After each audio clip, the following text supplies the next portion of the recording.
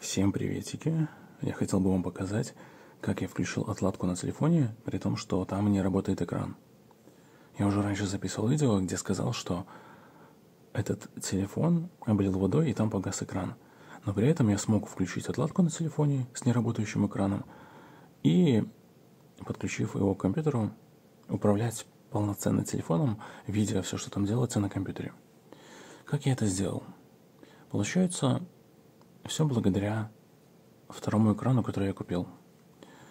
Его подключаем вместо старого экрана, который я вышел из строя, и все работает. Вот как бы шлейф экрана, и сюда можно подключить новый экран. Для наглядности я покажу, что он действительно не работает.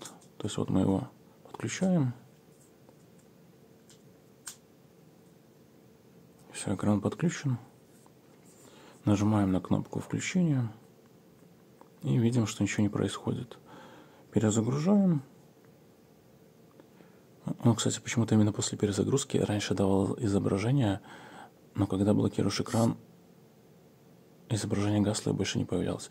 Вот видно было только что, что вибромоторчик двигался и звук был слышен.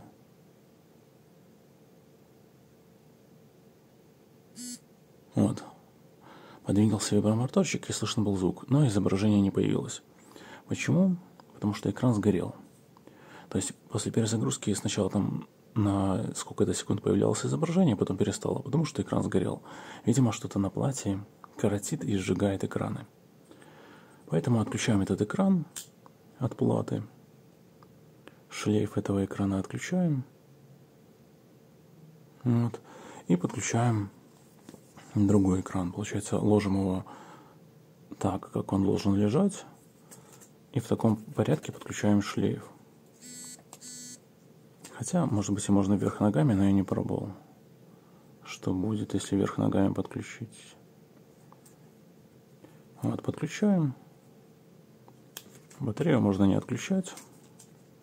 Сразу я думал, что надо отключать, вдруг сгорит. Но до сих пор не сгорел новый экран, хотя даже так и не отключая батарею, подключаю. Дальше перезагружаем.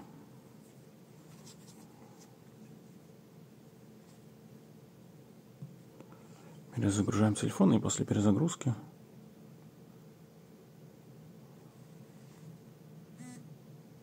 Вот, после перезагрузки появляется изображение. Почему-то всегда после перезагрузки, но потом оно гаснет. То есть вот перезагрузил, оно появилось. Когда оно дойдет до экрана рабочего стола, если на рабочем столе заблокировать, все, оно уже не загорится до следующей перезагрузки. То есть там что-то с платой. Вот. Ну и в данный момент оно погасло. Да, погасло. Ну вот такими вот темпами, периодическими перезагрузками я дошел до того, что оно пора, ну, работало и не гасло. И вот когда случился такой момент, что оно работало там несколько минут, я успел зайти в настройки, включить отладку, включить отладку по USB, разрешить все подключения. И после того, как все было включено, все разрешено, можно уже было подключиться к компьютеру и на компьютере видеть экран телефона. То есть, получается, здесь он не горит, а на компьютере горит. Ну, так-то он горит, просто здесь не видно. Вот. Что-то с платой. И вот такими вот перезагрузками у меня получилось. Но, кстати, не лишним будет отключить батарею, потому что она вот если полежит долго, оно как-то дольше потом работает. А чё? Ну, короче, ну, видимо, когда там все эти элементы разрядятся или что, оно потом, экран дольше работает. А когда он все время под напряжением, оно потом меньше работает. Ну да, сейчас вот почему-то не получается. Что-то на платье сразу вырубает экран. И вот именно почему-то... Хотя еще зависит от яркости экрана. Когда стояла минимальная яркость у меня, то экран работал и не думал выключаться. А когда стояла яркость повыше, то экран начинал моргать, моргать и в итоге газ. А так как при включении яркость ставится максимальная, то, соответственно, он гаснет. Вот. Короче, таким вот образом я смог включить отладку. Когда мне повезло, и оно загорелось и долго работало.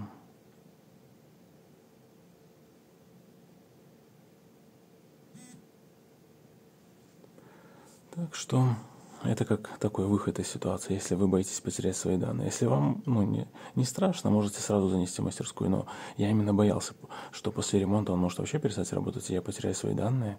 И поэтому я вот нашел такой выход. Вот. Ну а на этом все. Всем покедова.